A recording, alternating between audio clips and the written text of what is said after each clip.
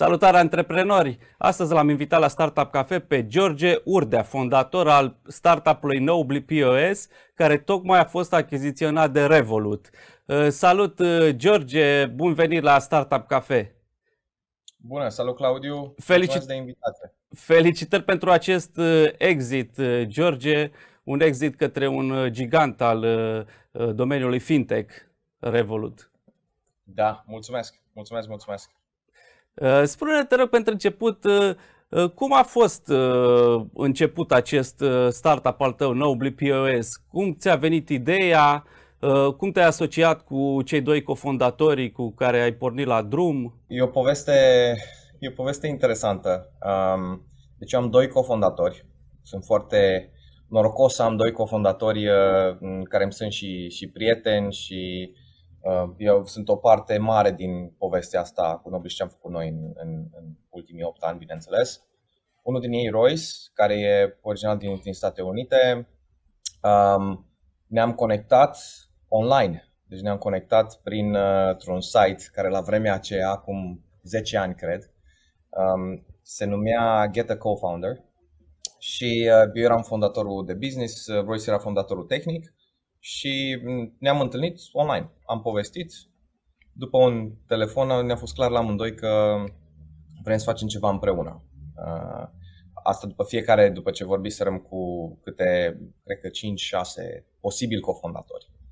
Și după, după convorbirea care am avut-o, am, uh, Roy s-a zburat în, în România. Eu eram atunci în Marea Britanie.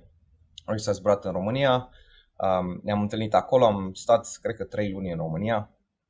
Um, am încercat să lucrăm la câteva proiecte împreună, inclusiv unul după cel din România am fost în India câteva luni și apoi în, în Chile, cu Startup Chile, un incubator uh, celian. Cunoscut și, incubator uh, celian, da, puternic. Da, exact. Am, am cunoscut și câțiva români acolo. Asta a fost în 2012, deci aproape acum 10 ani. Și uh, după câteva proiecte cu Royce, încă o dată în România, în India, în, în Chile, după un an de aventuri și încercări, am uh, făcut o analiză la um, tot ce începusem până atunci și ne-am dat seama că toate proiectele la care lucraserăm erau foarte scurte. Um, am început să lucrăm la un dashboard pentru asigurări, apoi la un proiect pentru, pentru EdTech și uh, deschideam și închideam proiectele astea în 3 sau 6 luni. Și apoi am stat noi și ne-am gândit și am zis, ok, să facem, hai să facem ceva care, care să-i dăm, să-i dăm timp, să-i dăm o perioadă de timp ca să se materializeze. Și am decis că orice am face în continuare, o să facem pentru șapte ani. Asta a fost cumva perioada la care am ajuns. Um, și da, după, după aventura din Startup Chile, eu am zburat înapoi în Londra. Royce a rămas și a trăit în Chile încă câțiva ani după, după aceea, deci am lucrat remote. Și uh, acolo l-am întâlnit și pe celălalt cofondator al meu, Sebastian. Sebastian, care, care e olandez de origine.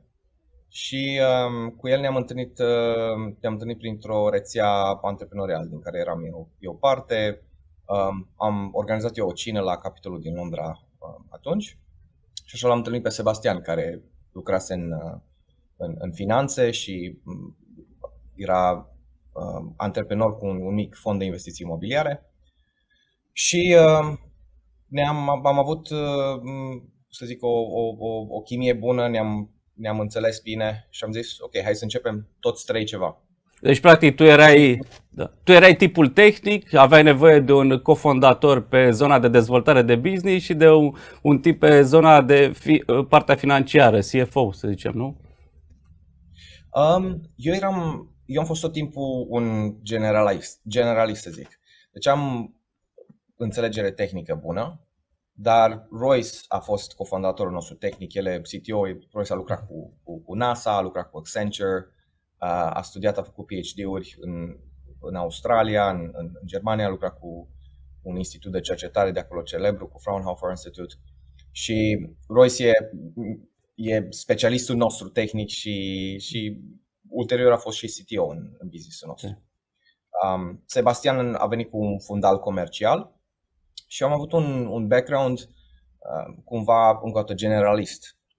Deci background-ul meu a fost în produse digitale, în construit echipe și produse digitale și ulterior am, am jucat mai multe roluri în, în Nobly uh, mhm. pe parcursul anilor. Când ai plecat de la, tu?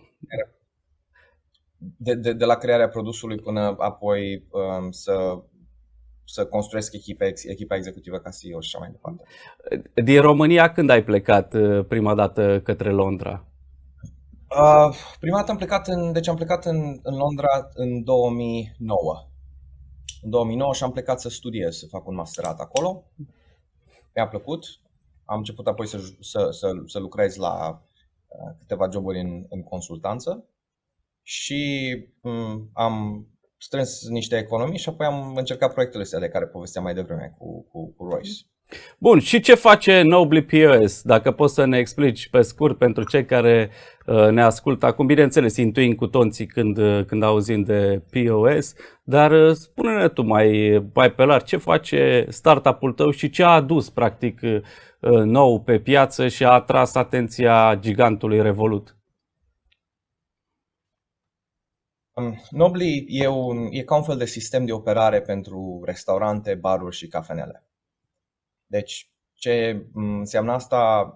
E un, un sistem online, o platformă unde micii comercianți, um, proprietari de baruri, restaurante, cafenele se pot loga și pot să-și administreze inventarul. Avem o, o, o, o selecție și o grămadă de opțiuni um, pentru diverse tipuri de business-uri pot să-și administreze clienții, deci e un CRM, um, pot să facă programe de loialitate, gen happy hours sau ei 10 caf- 9 cafele a 10, a 10 e gratuită și mm, softul nostru e integrat cu tot felul de mm, software-uri third party, gen programe de contabilitate, programe de management al, uh, al timpului și așa mai departe.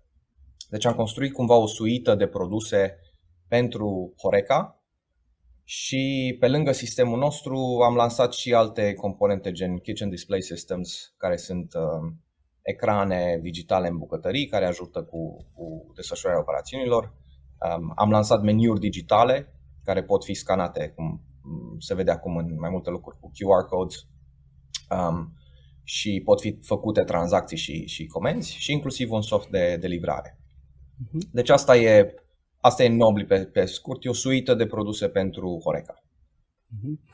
Uh, ce am observat uh, la voi că în cei 8 ani de, de existență pe piață, uh, Nobly nu a atras prea multe investiții de capital de risc, așa cum fac de obicei startup-urile care se, se ridică. Ați avut suficiente încasări de la bun început? Ați fost pe, pe ca să zic așa, pe profit, pe break-even măcar de la, de la început? Sau cum ați reușit să vă dezvoltați, să ajungeți la nivelul acesta fără să fie nevoie de investitori de capital de risc? Da. Um, nu e, n-a fost făcută publică suma ridicată până în momentul, adică în anii trecuți, nu, n-au, n-au fost articole și press release am încercat să nu, să, să, să, facem, să facem lucrurile, să construim cumva fără prea multă prea, prea multe anunțuri și așa mai departe, ne-am concentrat pe produs. Dar da, am ridicat capital pe parcursul anilor. Inițial am finanțat businessul cu, din economiile noastre, eu și cei doi cofondatori mei. Um, am început cu 20.000 de lire, um, banii noștri și cu acea sumă am, am început să angajăm uh, diversi uh, dezvoltatori și um, să începem să construim produsul. Așa a început povestea. Și apoi um, am, am reușit să ridicăm o mică rundă de finanțare, cred că după, după un an de când începuserăm. Și după acea rundă, da, au venit și alte, alte runde ulteriori. În total am ridicat uh, aproape 10 milioane. Uh, ah, ok. Investiții. Înțeles. Pe parcursul anilor. Da, în cei 8 ani. În cei 8 ani, da, dar businessul în, în, în anul acesta, de exemplu, e și a fost profitabil. Mhm. Deci am ieșit cumva din, din uh, pandemie, bine, suntem încă în pandemie, dar din, uh, din anul trecut de pandemie am, am ieșit uh, cu EBITDA pozitiv. Înțeles. Deci, practic, și investitorii cu acest exit uh, au ieșit și ei pe, pe profit. Sunt... Uh... Da, da. Deci, uh, a fost un. Un, un, un nu, nu o să pot să intru în cifre exacte și să dau, să dau statistici, dar uh, ce pot să zic e că deal a fost un win-win pentru investitori, pentru clienți, în primul rând, pentru că beneficiază de, uh, de, de produse complementare, se integrează foarte bine cu portofoliul Revolut și da, pentru, pentru toată lumea care a fost implicată în business. Dar așa ca ordin de valoare, poți să ne spui când, cu câte cifre digits este suma de tranzacționare, dacă ai voie, bineînțeles. da, din păcate nu am voie. Aș spune okay. cu mare plăcere, dar uh, în fiecare tranzacție de genul acesta se semnează un contract de confidențialitate între cele două părți, între vânzător și cumpărător. Și există clauze de confidențialitate care mm, ne obligă să nu divulgăm sume, să nu facem anunțuri legate de, de partea financiară din, din, din tranzacție. Da, sigur, așa se întâmplă, am mostrat de foarte multe ori, poate de cele mai multe ori în tranzacțiile cu startup-uri. George, spune-ne te cum a fost discuția cu Nick Storonski, fondatorul uh, Revolut? Sau mai întâi spune dacă ai discutat direct cu Nick Storonski sau cum a decurs uh, uh, negocierea cu Revolut în general? Sigur. Um, deci Revolut ne-a abordat anul acesta prin, uh, la, pe, pe, pe la începutul anului pentru un parteneriat. Ideea era să integrăm um, cele două produse printr-un parteneriat și pe măsură ce echipele s-au cunoscut și pe măsură ce uh, am, am explorat mai mult ce am putea să facem împreună cu cele două produse și cele două companii, um, ei au luat decizia că ar fi mai bine să um, achiziționeze Nobly decât să se reducă, să, să se limiteze la un parteneriat. Deci asta a fost, uh, asta a fost începutul discuției. Și apoi, pe, pe parcursul negocierilor și pe parcursul tranzacției până s-a închis deal am, am lucrat cu echipa lor de, de M&A, de Mergers and Acquisitions. Deci, în principal, am lucrat cu, cu, cu tot echipa care o construiseră in-house după ce au ridicat runda de, de finanțare și uh, au niște oameni extraordinar de buni, au oameni cu experiență pe tranzacții care au lucrat cu, cu Morgan Stanley, au, uh, au avocați specializați pe M&A in-house și da, au construit o echipă foarte bună. Uh, încă o dată, pentru partea de, de, de due diligence, care se, se face în timpul tranzacției, unde ei se uită la, în detaliu la, la, la, la fiecare aspect din businessul care îl cumpăr, din, din Nobly. Um, echipa de M&A a fost, uh, a fost contactul nostru principal și apoi ulterior, bineînțeles, ne-am, ne-am întâlnit și am, am, am, um, am, am, am stat uh, la, la um, introduceri, la discuții cu, cu Nick și cu, cu Vlad, cu cei doi fondatori. Okay. Uh, dar de, echipa de M&A a condus tranzacții și, bineînțeles, cei doi au fost, au fost implicați, dar nu, nu, nu direct. Uh, dar uh, cum a fost așa discuția ei? Ce au văzut la voi? Ce i-a interesat în principal la voi? Uh, înainte, cum spuneai, ați, ați avut un parteneriat, deja colaborați, erați cumva integrați cu, cu serviciile Revolut, dacă am înțeles bine? Nu eram integrați, eram în discuții să începem un parteneriat și ce a ieșit din din, din discuțiile astea și cu cât ne uitam mai mult la ce am putea să facem împreună, la cum putem să construim uh, uh, parteneriatul, a devenit o mai clar că e ceva foarte strategic pentru ei și că are mai mult sens să ne cumpere decât să ah, okay. rămână la un parteneriat. Am înțeles. Deci discuțiile au început pentru un parteneriat între două companii separate, distincte, și ați ajuns exact. la concluzia că mai bine vă, integ- vă cumpără cu totul, nu? Da, da, da. Am descoperit tot felul de, um, de, de, de, de, de sinergii între cele două business-uri și atunci a fost mai clar că da, e mai simplu să avem uh, echipa Nobly în, în Revolut. Mm-hmm. Și pe mhm. partea culturală a fost un fit foarte bun pe partea de produs. Noi avem ca un sistem de operare pentru comercianți și au construit, bineînțeles, un, o, un super app, o super aplicație financiară pentru partea de consumer și partea de business.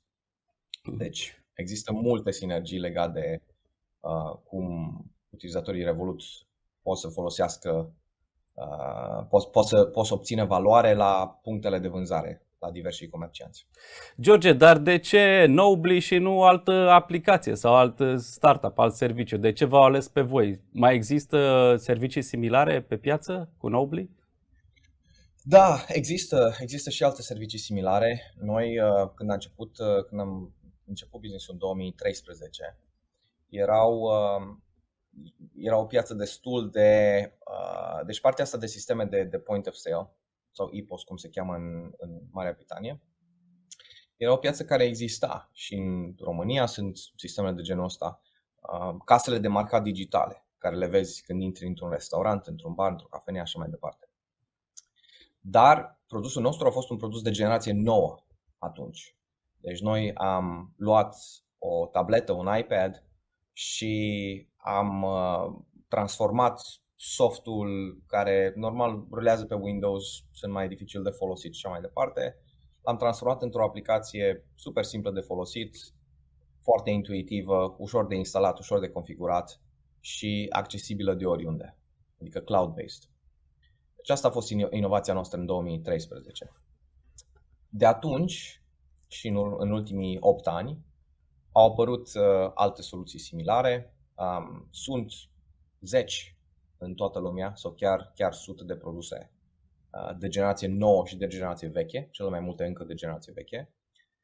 Și Revolt au, au făcut o, o, o, analiză, o analiză de piață destul de, destul de, de, de adâncă și în detaliu și um, ce le-a plăcut la noi a fost, în primul rând, produsul. Am construit un produs, cred, echipa noastră a construit un produs foarte uh, ușor de folosit, uh, foarte, um, uh, bineînțeles, scalabil um, și intuitiv. Da, asta. Ușor de folosit și scalabil. Um, și inclusiv interfața noastră e cumva similară cu interfața Uh, Revolut, produselor Revolut. Și pe lângă asta am avut așa un focus pe, pe clienți, un focus foarte intens pe, pe clienți.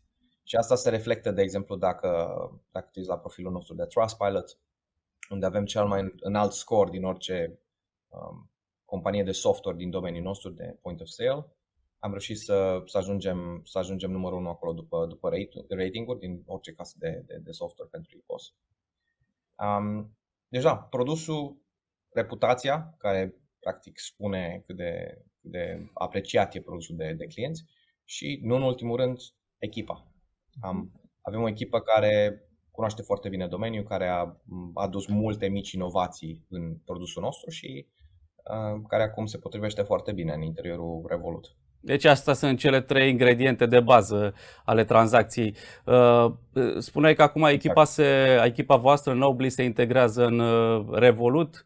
Um, cum este această tranziție a ta către Revolut? Ce poziție uh, vei ocupa sau ocup deja în Revolut? Cum se întâmplă lucrurile într-o astfel de tranzacție și integrare de business? Sigur. În primul rând e ceva nou pentru mine E prima companie care o vând și n-am mai făcut niciodată o integrare de companie în altă companie mai mare. Uh, Nobly a venit cu o echipă de 20 de oameni, toți au venit cu mine în continuare, sunt parte din Revolut în momentul ăsta și noi am venit într-o companie mult mai mare. Revolut are acum peste 3000 de angajați și birouri în, în, în jurul lumii. Deci, uh, ca și scală și dinamică, cam, cam, asta, e, uh, cam, cam asta e raportul. Um, pentru noi, venind, intrând în tranzacții, deja am început să discutăm specific cum putem să adăugăm valoare în următoarele luni, în următoarea jumătate de an pentru, um, pentru a integra cele două companii. Și am venit cu, cu o listă foarte specifică de, um, de, de inovații și, și uh, îmbunătățiri care putem să le facem. Deci, echipa mea și cu mine uh, ne ocupăm acum de de această integrare pe partea tehnică, pe partea financiară, pe partea legală, partea de taxe și așa mai departe. Și da, eu conduc uh, divizia de, de IPOS în, în Revolut. Este o nouă divizie sau exista? E o nouă divizie care a fost creată cu achiziția Nomli. Da, deci practic prin achiziția aceasta, uh, datorită vouă, Revolut a deschis o, o nouă verticală de business. Corect, da. Asta a fost și ideea achiziției și mm, asta s-a și întâmplat. Uh-huh. Uh, George, și uh, mai departe, cât timp uh, preconizezi că vei rămâne în uh, cadrul Revolut? Bănuiesc că există și aici o clauză uh, în cadrul tranzacției să rămâneți o, o perioadă să asigurați tranziția și integrarea sistemelor, nu? Și dacă tu mai departe ai, poate ai alte planuri să, să dezvolți noi startup-uri ca antreprenor, ca fondator, sau vrei poate să îți continui să-ți dezvolți o, o carieră uh, corporate în Revolut? Da, bună întrebare. Um, în orice tranzacție aproape, în momentul în care se întâmplă o achiziție, există o perioadă de integrare, de a integra cele două companii. Um, compania care a fost achiziționată în compania care a cumpărat-o. Și sunt toate procesele de care spuneam mai înainte, partea legală, financiară, tehnică, de taxe și așa mai departe. Entitățile din punct de vedere legal, contractele, angajații și așa mai departe, furnizorii. Și deci, deci există, există partea asta de, de integrare Um, există planuri, bineînțeles, de viitor, care încă le discutăm și uh, sunt multe lucruri care și eu mă obișnuiesc. Uh, să nu uiți că eu stai aici de, în Revoluta de abia o lună de zile, deci încă descoper, uh, descoper procese, cunosc oameni noi din, din echipa lor și uh, încet, încet uh, începem să discutăm de planurile de, de viitor. Dar uh, în, în orice tranzacție, desigur, există clauze și, cum ziceam, în orice tranzacție există uh, contracte de confidențialitate. Asta era și un, e o clauză care, din păcate, nu pot să, Evident, uh, să intru în, în, în, în detalii legat de durata asta. Bun, dar în paralel, poate, nu știu, ai planuri pentru noi startup-uri?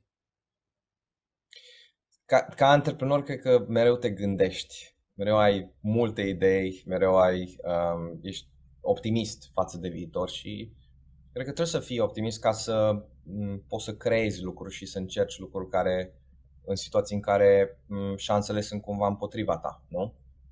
Deci, da, mereu mă, mă, uit, mă uit la ce se întâmplă, mereu am, am idei, dar deocamdată nu am niciun plan să, să, să, să încep ceva în, în, în viitorul apropiat. Uh. Și uite, o chestie care am, care am învățat-o e că e foarte ușor să ai idei și asta spune multă lume, dar e foarte adevărat, eu am învățat-o pe, pe pielea mea. E foarte ușor să ai idei și foarte dificil să le execuți bine. Mm-hmm. Asta am învățat noi din experiența noastră ce spuneam de faptul că am început mai multe proiecte, nici nu pot să le spun companii, că au fost mici proiecte de 3-6 luni și mm, atunci când construiești o companie, focusul e pe, pe execuție, pe cât de bine poți să faci produsul, pe cât de bine poți să servești clienții, pe cât de bine poți să construiești echipa și să-i motivezi și să le dai un, un, un scop. Deci astea, asta, asta e focusul uh, antreprenorului. Mm, deși e foarte tentant să sar de la idee la idee, să te gândești, a, aș putea să îmbunătățesc și asta, aș putea să schimb și asta, aș putea să creez asta. Dar um, dacă vrei să le faci pe toate, atunci uh, sunt mai mici șansele de succes, cred eu. Deci execuția e mult mai importantă decât uh, ideea în sine. Absolut, și asta e, e ceva, e un adevăr, să zic, uh, bine știut, dar eu am simțit asta pe pielea mea în ultimii 10 ani și chiar am văzut că dacă nu ai dacă nu ești focusat și nu, nu ești uh, nu ai, nu ai un plan, nu ai o structură cu echipa ca să execuți, uh, alți competitori o să ia înainte, um, echipa poate nu o, s-ar putea să-și piardă încrederea și motivația în produs. Um, deci eu, eu, eu așa o, o, o balanță întreagă de uh, legată de, de execuție. Înțeleg că acum ești la București întâmplător, tu locuind de fapt la Londra în mod obișnuit. Corect, da, așa e. Ai venit Sunt în pentru... România câteva zi. A, ai venit pentru Crăciun, bănuiesc, nu? Pentru sărbători? Da, da, am venit câteva zile pentru, pentru sărbători, dar uh, normal în timpul anului locuiesc la Londra, unde și acolo a fost și, uh, și sediu companiei, e o companie înregistrată în Marea Britanie și acolo e și uh, headquarters-ul Revolut, tot în Londra. Da. Uh, dar poți să ne faci așa o comparație între Londra și București sau între Marea Britanie și România? Uh, de ce e mai bine să-ți deschizi companii la Londra și nu la București? De ce tu ți-ai deschis uh, startup-ul la Londra, care este un hub internațional, și nu, să zicem, la București? Da. Nu știu dacă neapărat e mai bine. Uh, vezi, au fost și în România și sunt povești de succes, gen UiPath și, și altele. Și a fost foarte clar, mai ales în ultimii ani, că România devine un loc de unde poți să începi proiecte și companii cu ambiții globale și care să pot obține finanțare internațională și să crească și ulterior să și listeze pe cea mai, bursă din, cea mai mare bursă din lume. Deci uh, nu cred neapărat că România e un loc mai, mai bun sau mai rău decât, decât Londra. Cred că depinde de context și pentru mine am ales Londra pentru că acolo se întâmpla să fiu în momentul respectiv, în 2013. Dar, um, cum spuneam, și legat de România, deci faptul că partea de finanțare și partea de talent s-a îmbunătățit mult în România. Aici sunt niște oameni extrem de talentați, um, extrem de capabili tehnic și acum din poveștile de succes care se întâmplă aici, uh, sunt tot mai mulți oameni și pe alte domenii, pe partea de, de management, pe partea de business. Um, deci e, e tot mai mult talent. La fel și în Londra, um, partea de, de finanțare va evolua foarte mult în ultimii 8 ani. În bine, deci, când am început, Da, când am început noi erau, uh, nu știu câți VC, câți venture capitalists erau, firme de investiții specializate pe, pe tehnologie. Probabil că acum câte, că erau câteva, câteva zeci, gen 20-30 în 2013 și nu, nu știu exact, o să e așa aproximativ. Dar uh, acum, în ultimii câțiva ani, uh, s-au deschis foarte multe și ce e interesant e că și firmele din Silicon Valley, care mm, e cumva a fost și încă e mm, punctul unde, locul unde vrei să, unde voiai să fii, dacă deschizi o companie de tech, companiile gen, um, gen Sequoia, Uh, General uh, Catalyst cred că a venit uh, recent în Londra. Da, Încep să-și deschidă europene în, în, în Londra. Și asta e un, un, un, o mare schimbare în ultimii ani. Da. Dar cum vezi Bucureștiul în acești 8 ani de când ai deschis tu Nobly la Londra? Cum vezi evoluția Bucureștiului și a României pe partea de startup-uri tech? Um, eu mereu mă uit, mă uit la, la statistici. Uh, poți să mergi pe Google și să cauți GDP per capita și uh, să compari țări și România mi se pare că n-a fost niciodată într-un loc mai bun decât e acum. Deci asta așa ca, ca și context. Și uh, știu că este un lucru poate nu e atât de evident pentru, pentru mulți oameni care, care locuiesc aici și văd diverse feluri în care poți să îmbunătățești um, diversele sisteme din România, piața de muncă și așa mai departe. Dar, așa, pe ansamblu, cred că România e într-un, într-un loc foarte bun. Și, da, cred că, cred că a crescut, s-a dezvoltat, s-au schimbat multe lucruri în bine. Sunt multe companii pe partea de software, de tech și, um, și mult talent. Deci, în, în, în mare, cred că România s-a schimbat în foarte mult în bine în da. ultimii, în ultimii ani. Apropo, cam câți ani aveai când ai plecat uh, din uh, România la masterat? 23. 23 de ani. Am înțeles și a, acum ce vârstă ai, dacă poți să te întreb? Sigur, 35. 35, mulți înainte. Bun, deci uh, Mulțumesc. vedem o evoluție de 12 ani în care tu ai, practic, ai lipsit uh, mai mult de la, din România, nu? Și în da. care poate vezi da. cu alți ochi acum peste ani. Vezi. Uh, da, vezi, vezi cu alți ochi probabil pentru că am fost aici să fiu conectat la fiecare știre, știre la fiecare noutate, la fiecare mm, lucru care s-a întâmplat și am fost mai mult conectat de toate lucrurile astea dincolo, în, în Londra. Da. Pe de altă uh, parte, da, te rog, scuză-mă. Dacă vrei să Nu, dar spuneam că în general, în general mi se pare că lumea a evoluat în, în bine. Uh, pe partea de tehnologie sunt mai mulți investitori decât erau acum 8 sau 10 sau 12 ani. Sunt mai mulți uh, antreprenori, sunt mai, mai mulți uh, mai mulți talent pe partea tehnică, sunt produse de calitate mai bună. Deci totul, totul s-a schimbat în bine, nu doar în România și nu doar în Londra, ci peste tot. Inclusiv în Statele Unite, unde noi am avut un birou în, în Austin, în Texas. Um, și acolo s-au schimbat enorm lucrurile. Adică Silicon Valley nu mai e centrul care era. Acum sunt uh, mai multe orașe, gen Austin, gen Miami, în ultimul, în ultimul an în special, um, care Boston, Seattle, da? Da, care atrag talent din Silicon Valley și m- mm, sunt mai interesante pentru antreprenori care vor să înceapă ceva, uh, pentru programatori, pentru designeri, pentru, pentru investitori, pentru că au costuri de trai mai mici față de costurile exorbitante din, din, din San Francisco, de exemplu. Și uh, e așa ca un, ca un început nou în, în, în micile este orașe și asta, în, bineînțeles, în contextul în care putem să lucrăm de acasă, nu mai contează atât de mult locația fizică um, și totul e mai internațional, mai, mai globalizat. Da, și pandemia asta poate a schimbat paradigma, a accelerat uh, lucrurile. Sigur, a accelerat. A accelerat uh, și pe partea de, de remote work. Clar, toată lumea acum, în, cel puțin în IT, în tehnologie, a văzut că poate să lucreze de acasă și poate să ai niște rezultate foarte bune um, cu provocările legate de asta. Nu, nu e perfectă nici varianta asta.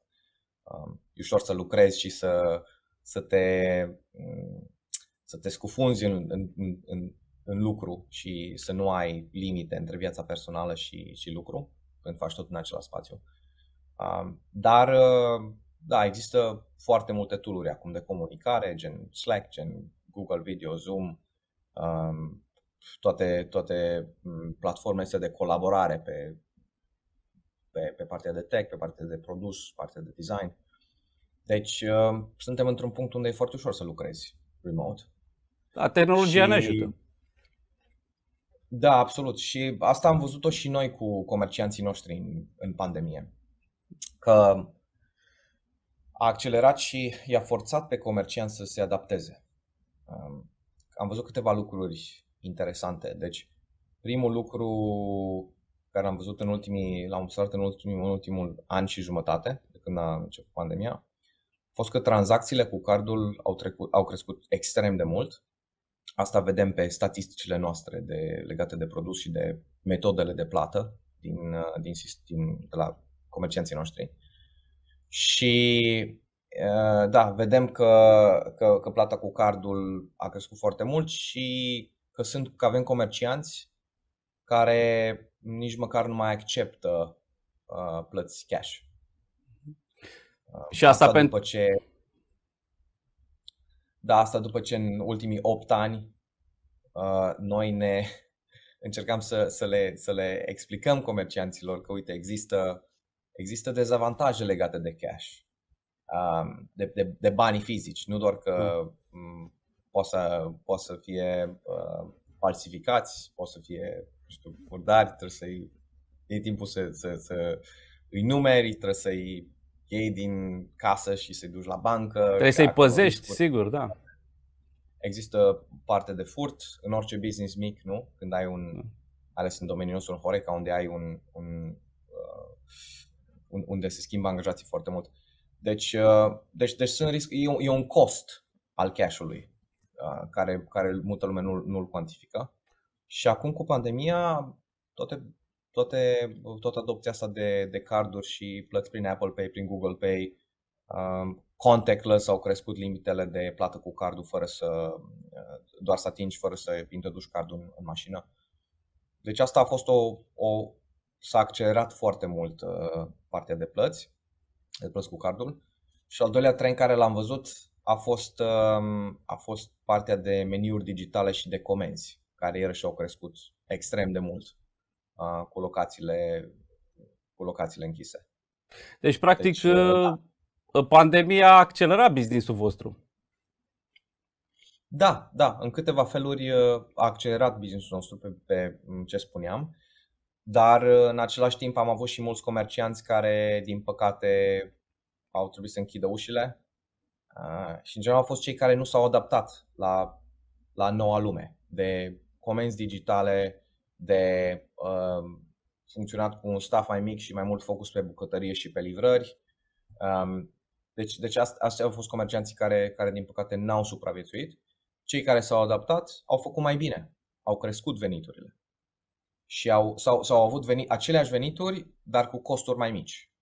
Nu? Dacă te gândești la o cafenea care uh, vindea, vindea cafea și veneau oamenii și stăteau în, în, la mese, E, acum, pe parte, când au fost forțați să închidă spațiu și să facă doar, uh, doar takeaway, au văzut că vând la fel de multă cafea, doar că au nevoie de jumătate din angajați.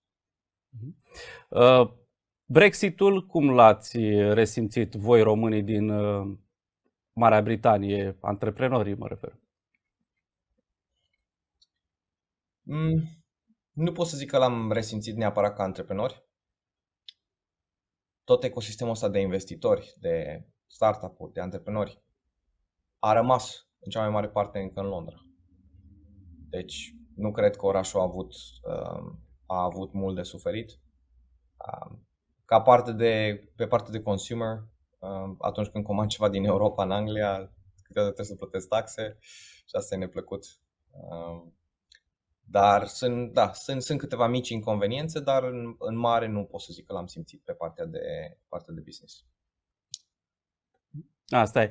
Bine, mulțumesc foarte mult, George, și încă o dată felicitări pentru acest exit și uh, mult succes în continuare în cadrul uh, Revolut și planuri, dacă ai de viitor, poate și cu România, ne-am bucurat să, să le împărtășești cu noi. Sigur. Mulțumesc și eu de invitație. Mă bucur mult că, că am fost aici, Claudiu, și da, ce să zic, Uh, mult succes în continuare și ție!